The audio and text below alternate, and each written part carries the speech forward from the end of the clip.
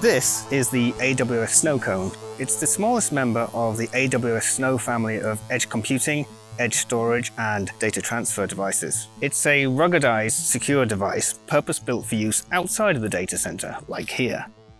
Imagine you need to capture high-resolution video in a remote location away from the data center and where you have no internet connection.